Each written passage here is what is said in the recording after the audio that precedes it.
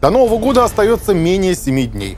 В информационной студии телеканала «Север» Иван Никонов. Здравствуйте, в эфире новости. Я и мои коллеги расскажем вам о главных событиях этого дня. Рыбаки Ненецкого округа смогут использовать жаберные сети для любительского рыболовства. Соответствующее подтверждение пришло сегодня в адрес губернатора Ненецкого округа из Федерального агентства по рыболовству. Факты употребления снюса выявлены среди наринмарских школьников. Употребление снюса вызывает очень сильное никотиновое опьянение. Для минимизации вреда несовершеннолетним от употребления подобных веществ окружная полиция обратилась к администрации региона с предложением ввести запрет на продажу подросткам никотиносодержащих препаратов. В окружной столице прошли елки для одаренных детей. Их участниками стали около тысячи школьников, победители предметных олимпиад, активисты школьного, молодежного и волонтерского движения. Ребята, достигшие высоких результатов в учебе и спорте. Об этом и многом другом расскажем в ближайшие 20 минут.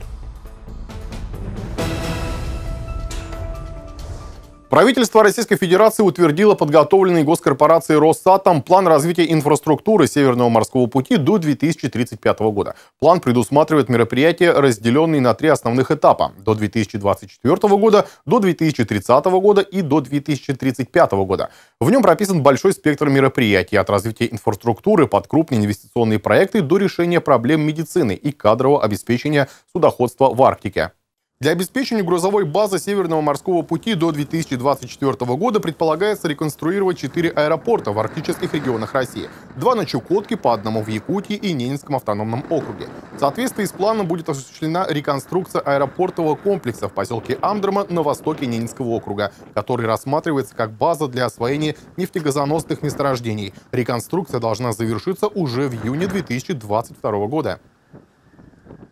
Губернатор Ненецкого округа Александр Цибульский провел итоговое в текущем году заседание окружной антитеррористической комиссии. Основной темой обсуждения стали вопросы обеспечения безопасности граждан и объектов жизнеобеспечения в период новогодних каникул. Как сообщил в своем докладе начальник регионального управления МВД России Олег Яковлев, личный состав силовых структур на период всех праздничных дней будет переведен на усиленный режим несения службы. Охрану правопорядка в окружных населенных пунктах обеспечат участковые полномоченные полиции, которые будут направлены во все поселения Ненецкого округа еще до наступления праздников. При проведении крупных культурно-массовых мероприятий в Наринмаре планируется задействовать представителей добровольных народных дружин. По словам главы города Олега Белака и главы Заполярного района Виктора Ильина, режим повышенной готовности будут переведены и муниципальные службы Наринмара и Заполярного района. Избирком поселка Андерма завершил регистрацию кандидатов на должность главы. Досрочные выборы главы муниципального образования пройдут 2 февраля 2020 года. В избирательный бюллетень будут включены трое зарегистрированных кандидатов. Ведущий специалист муниципальной администрации Маргарита Златова, она выдвинутая партией «Единая Россия», инженер-инспектор МФЦ Виолетта Кононова, кандидат от региональной партии ЛДПР и финансист поселковой администрации Евгений Рыбалко, выдвинут в порядке самовыдвижения. Муниципальный избирком приступил к заказу и печати избирательных бюллетеней и информационных плакатов. На территории поселка Амдерма зарегистрировано 384 избирателя.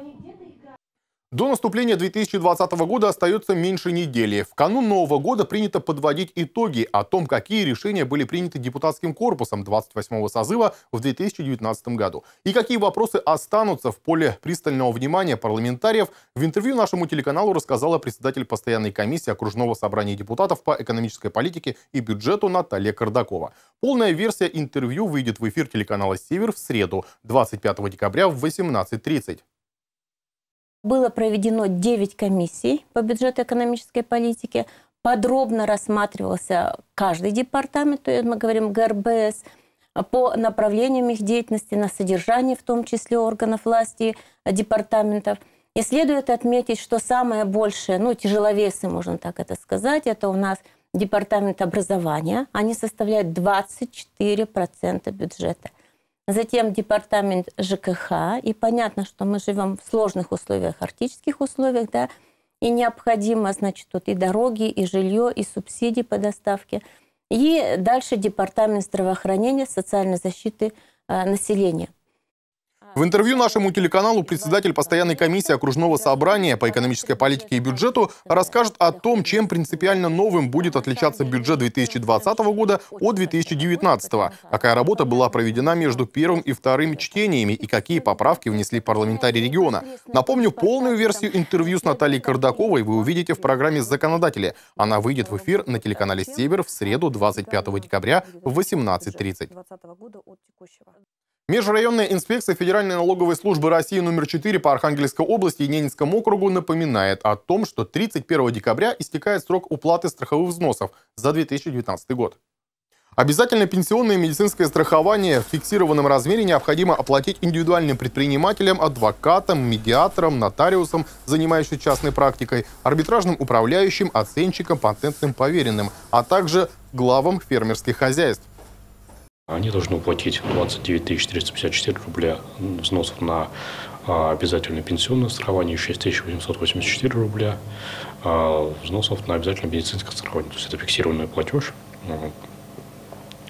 Он уплачивается независимо от ведения финансово-хозяйственной деятельности и независимо от результатов финансово-хозяйственной деятельности.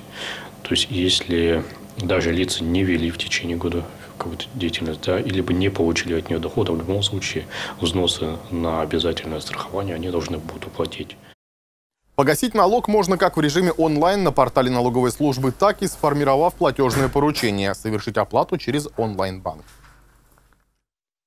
23 декабря прошло торжественное подведение итогов конкурса детского художественного рисунка «Коррупция глазами детей», приуроченного к Международному дню борьбы с коррупцией, организованной прокуратурой Ненецкого округа. Конкурс был организован в двух возрастных категориях – от 7 до 11 лет и от 12 до 16 лет. В каждой возрастной группе было две номинации – лучшее художественное оформление и оригинальный рисунок.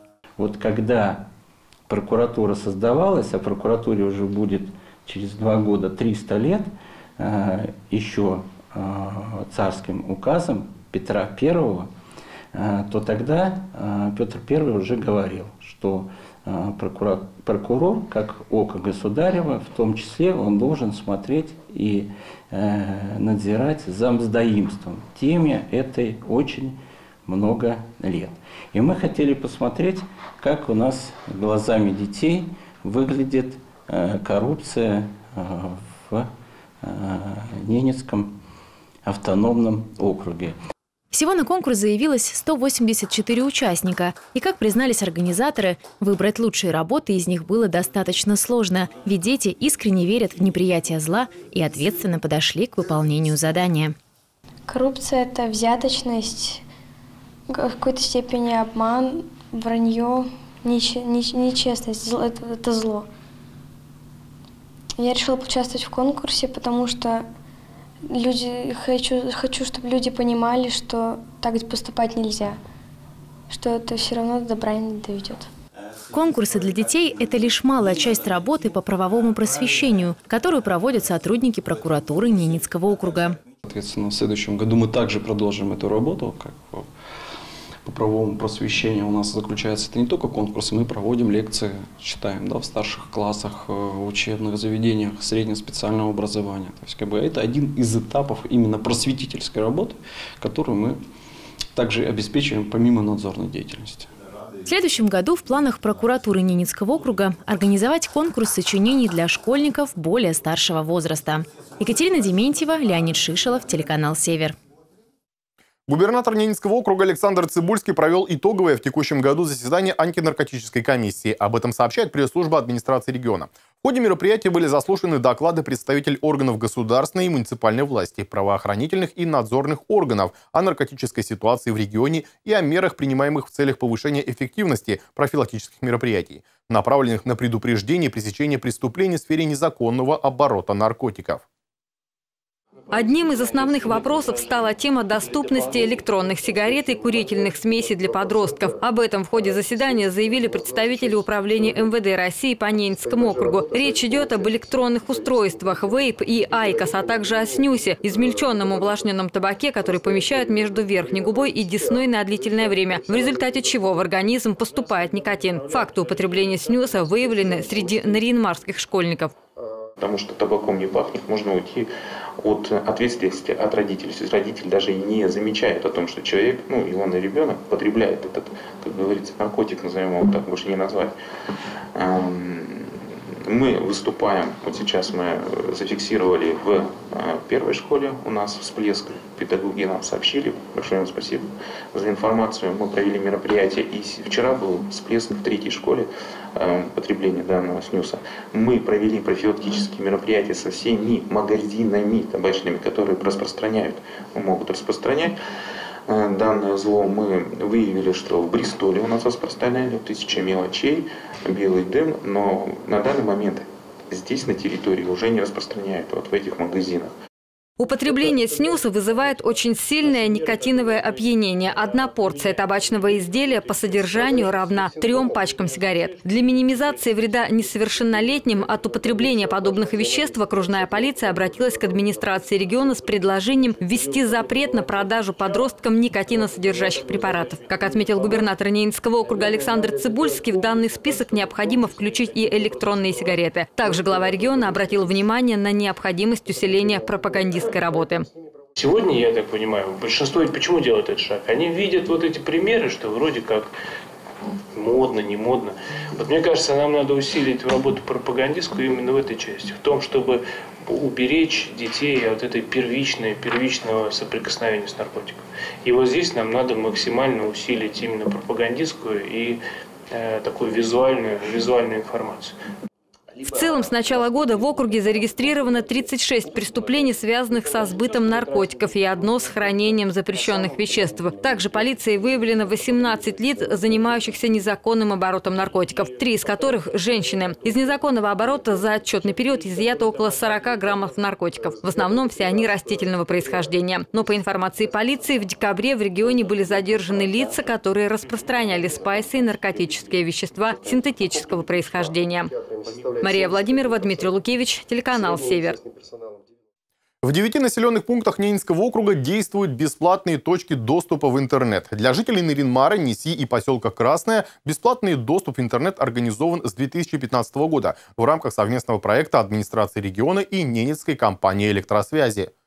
Коллективные точки доступа оборудованы в 10 учреждениях массового нахождения людей. Доме культуры поселка Красная, Доме народного творчества села Несь, Дворца культуры Арктика, спортивной школе Олимпийского резерва «Труд», отделе ЗАГС, Нинской центральной библиотеки имени Печкова, Нинской окружной больницы, взрослой и детской поликлиниках, здании аэропорта. Доступ обеспечивается по технологии Wi-Fi. При подключении пользователю необходимо выбрать сеть Wi-Fi, нижнее подчеркивание NOW. Авторизация происходит через СМС. В Бугрино, Шойне, Тельвиске, Оксино, Лабожском и Коткино возможность бесплатного доступа в интернет представляет ПАО «Ростелеком». Точка доступа представляет собой железобетонную опору высотой несколько метров, на которую закреплены климатический шкаф и необходимое оборудование. Жители поселений, в которых они установлены, могут бесплатно пользоваться интернетом в радиусе до 100 метров на скорости не менее 10 мегабит в секунду. Доступ обеспечивается также по технологии Wi-Fi. Авторизация происходит через СМС или учетную запись единого портала госуслуги. Используя точку доступа, жители населенных пунктов могут бесплатно посещать портал государственных услуг, сайт пенсионного фонда, ресурсы с правовой информацией. В целом более 2000 госсайтов. Их полный перечень представлен на официальном сайте провайдера. В окружной столице прошли елки для одаренных детей. Их участниками стали около тысячи школьников. Победители предметных олимпиад, активисты школьного, молодежного и волонтерского движения. Ребята, достигшие высоких результатов в учебе и спорте. В течение двух дней во Дворце культуры Арктика для школьников и студентов округа проходили новогодние праздничные мероприятия, конкурсы, дискотеки, выступления окружных и российских исполнителей, а также интерактивное театрализованное представление «Кто Дед Мороз на дне океана» по мотивам мультсериала «Губка Боб. Квадратные штаны».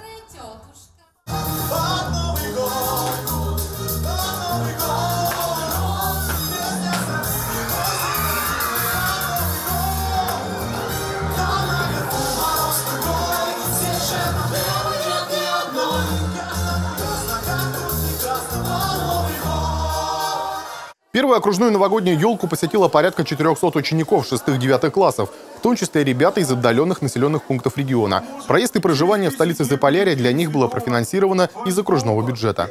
В общем, у нас пять детей, э, э, два ребенка на с 5 до 9 на елку, и три ребенка у меня третий класс завтра придут. Это ребята, которые хорошо Да, это ребята, которые хорошо учатся, которые везде участвуют, там, в конкурсах участвуют, получают э, первые там призовые места, даже окружные. Вот эти ребята у нас поехали на елку. Во второй день театрализованное новогоднее представление по мотивам известного мультсериала смотрели около 400 учащихся первых-пятых классов. Ребята также приняли участие в интерактивных играх и отгадывали загадки. Заключительным этапом торжеств для учеников с 1 по 9 класса стало вручение сладких новогодних подарков, приобретенных обществом «Зарубеж нефть добыча Хоряга» за счет средств партнеров Хорягинского СРП. Они были упакованы в рюкзачки, которые потом можно будет использовать для физкультурной формы. Для старшеклассников и студентов профессиональных образовательных организаций при финансовой поддержке ПАО «Лукойл» была организована шоу-программа «Новогодний движ».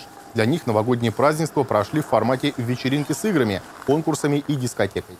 Ежегодный организатор окружных новогодних елок для одаренных детей – Дворец культуры «Арктика».